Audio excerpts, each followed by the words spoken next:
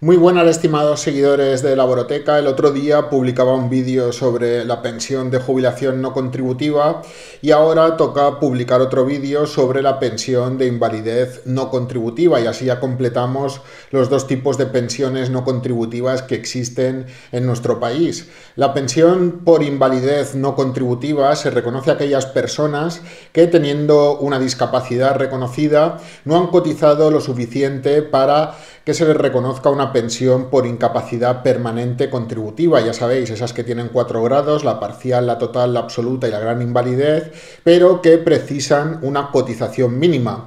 Cuando no se alcanza esa cotización mínima, se tiene una discapacidad reconocida y además se carece de ingresos y se cumplen el resto de requisitos que voy a explicar en este vídeo, es posible el reconocimiento de una pensión de invalidez no contributiva. Si os gustan estos vídeos, como siempre os digo, suscribíos a mi canal de YouTube porque de esta forma me animáis a continuar publicando contenido de este tipo.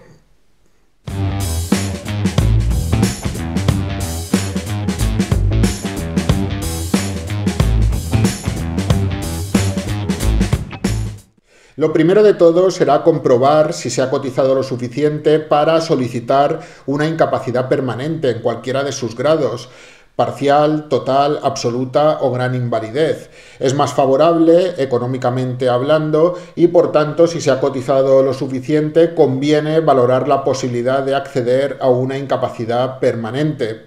La cotización mínima exigible para solicitar una pensión de este tipo depende de la edad del solicitante. Como es un poco lioso y enrevesado de explicar, os dejo más información en la descripción de este mismo vídeo. Volviendo a la pensión de invalidez no contributiva, como he adelantado al principio, se reconoce a personas que no han cotizado lo suficiente para acceder a una incapacidad permanente contributiva, que tienen reconocida una discapacidad igual o superior al 65% y que residen en España. No se reconocen estas pensiones a residentes en el extranjero, aunque sean de nacionalidad española.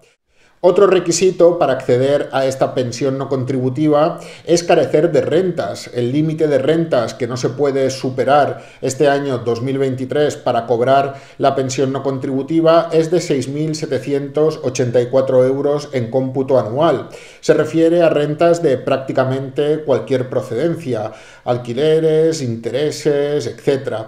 No obstante, esta pensión de invalidez sí que es compatible con cierto nivel de salario para aquellas personas que la tengan reconocida y que además hayan sido contratadas por cuenta ajena y estén percibiendo un salario. Os dejo el límite salarial aquí abajo. Y para personas que no vivan solas, que vivan con su cónyuge, con padres, con hijos o con familiares de hasta segundo grado, existen unos límites de ingresos diferentes. Se incrementan un poco dependiendo del familiar que conviva con el beneficiario de la pensión no contributiva. Os dejo una tabla con los límites de ingresos vigentes para este año 2023 que no se pueden superar si se quiere cobrar una pensión por invalidez no contributiva.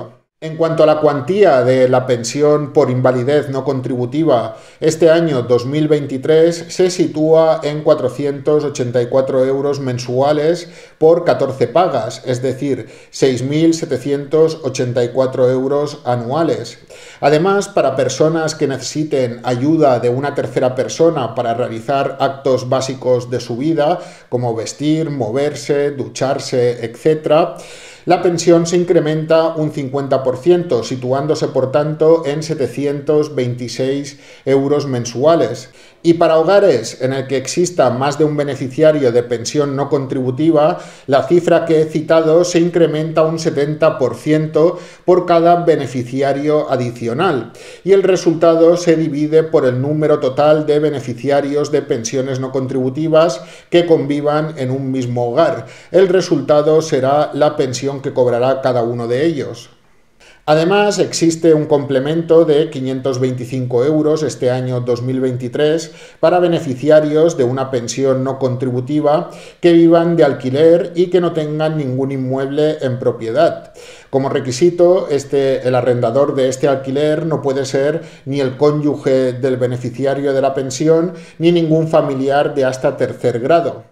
Y finalmente comentar que las solicitudes y la gestión de las pensiones no contributivas son competencia de las comunidades autónomas, tienen las competencias delegadas. Aquí en la Comunidad Valenciana se gestionan con la Consellería de Igualdad y Políticas Inclusivas. En cada una de vuestras comunidades habrá un organismo competente. En el caso de Ceuta y de Melilla, las solicitudes se dirigen y se gestionan directamente con el inserso. Y con esto queda comentado todo lo que quería explicar sobre las pensiones por invalidez no contributiva. Os dejo enlaces en la descripción de este mismo vídeo para ampliar información sobre esta pensión no contributiva y también sobre la pensión de jubilación no contributiva que se cobra a partir de los 65 años. Si os ha gustado este vídeo os invito a suscribiros a mi canal de YouTube porque de esta forma me animáis a continuar publicando contenido de este tipo.